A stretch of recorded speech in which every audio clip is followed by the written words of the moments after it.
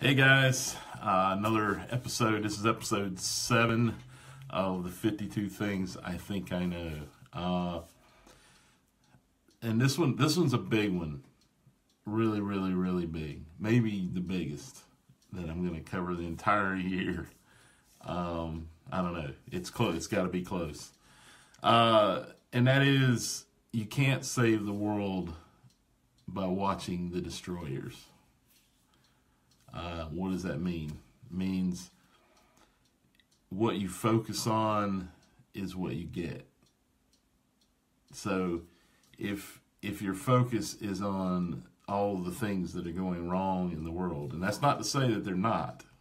okay, there are a lot of issues and, and challenges and opportunities and problems in the world, but if your focus is on that you're going to get more of it. First off, you're going to see more of it because you're looking at it, right? And and it will blow out of proportion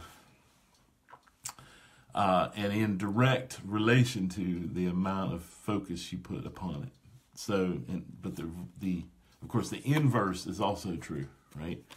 If you're focused on what is right and going well, which I would argue is the vast majority.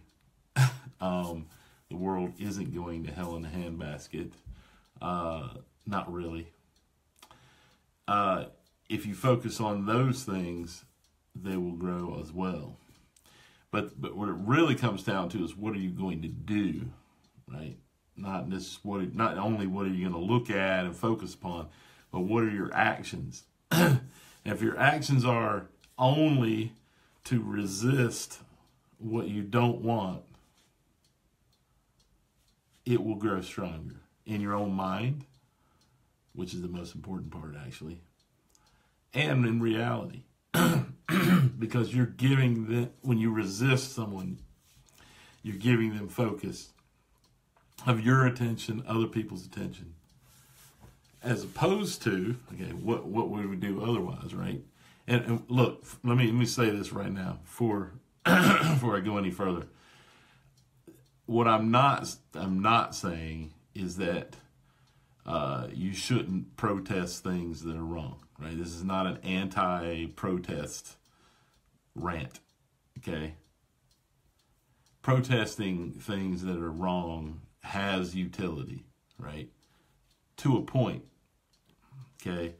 Um, if that's all you're doing, then what you want, whatever that is, will never come to fruition, right? If you're only resisting,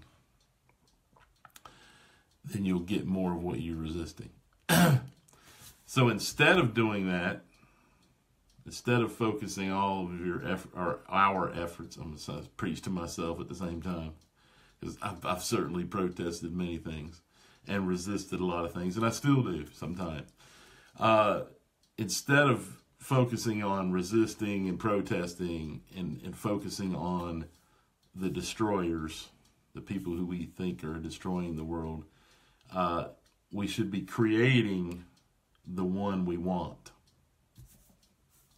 So it's fine to, to understand what you don't want. Okay, as long as that's a signpost that points you in the direction of what you do want. So, uh, this is the reason I don't watch the news ever anymore. Now, I'm not saying you don't have to, you shouldn't watch the news necessarily. Uh, I will say it's not doing you any good. Um, you might think it is, but it isn't. um, because it's almost all negative. it's not showing you what to do, it's showing you what other people are doing that's wrong which doesn't really teach you a whole hell of a lot. Trust me, I, have spent a lot of times watching the news in my in my life, uh, and it's never done me a lick of fucking good. I get enough of it, right here on social media, you know, elsewhere. I know what's going on, and really, there's nothing new about it. So what what I like to focus on, and what I try to focus on every day now is, okay, what am I going to do? What am I going to do? Hopefully it's something that's right, something good, something positive, right? And I focus on that. Because, for one thing, it's the only thing I can do, really. In the end, it's the only things I can actually affect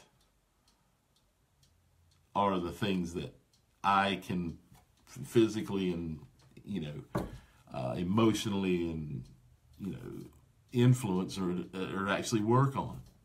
So if I'm not working on those things, then I'm essentially working for what I don't want if I'm focused on that because I'm giving them my energy and I'm, I refuse, right?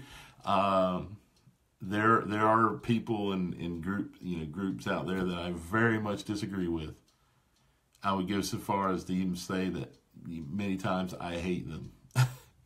I don't, I know I shouldn't, and it doesn't do any good for me to do so, but that's the way I feel because I, I think they're very, very wrong. That being said, it doesn't, it doesn't hurt them one bit for me to feel that way. It only hurts me, and it prevents me from doing something that might actually undermine what they're doing. So, work on, figure out what you do want, work on that. Create instead of focusing on the things that you don't want. I apologize. Throat's kind of rough this morning. anyway, uh, just keep that in mind. You you can't save the world by focusing on the destroyers.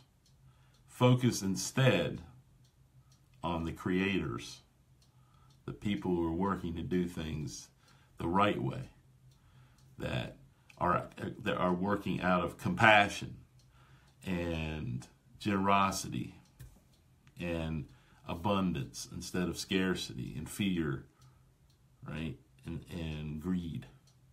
Forget about those people. You can't change them. There's nothing you can do about it. So change yourself. Think about what you're going to do. What are you going to do that's compassionate, that's generous, that comes out of a feeling of abundance instead of me, me, me scarcity? Or worrying about what some other someone else is going to take from you. What can I give to them, to other people that will make the world a better place? And then the world will be a better place. It'll be a better place in your mind, and it'll be a better place in other people's as well because that energy will go out and multiply. That's enough for today. All right, guys, we'll see you next time.